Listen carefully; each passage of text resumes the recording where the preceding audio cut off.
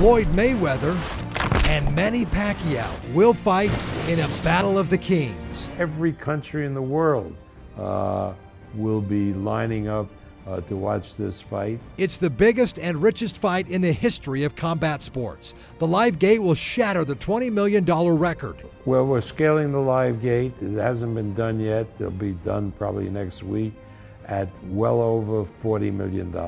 It'll be the biggest live gate uh, in the history of Nevada and maybe in the history uh, of the world.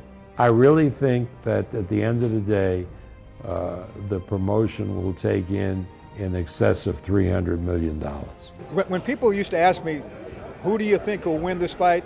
I would always say the same thing, the city of Las Vegas and the MGM Hotel. Ticket and pay per view prices will soon be released. Casino gaming numbers will be gigantic. Everything about this fight points to success. Floyd announced the fight on his app called Shots, saying, I promised fans we'd get this done, and we did.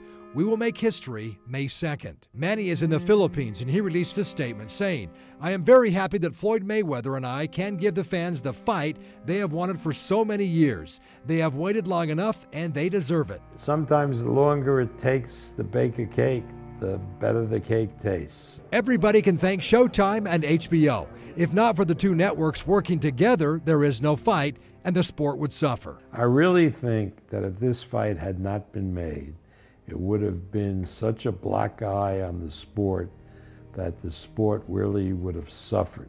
There is no rematch clause in the contract, and there will not be a promotional tour. Doesn't need it. This one sells itself. Chris Maathuis, 8 Sports Now.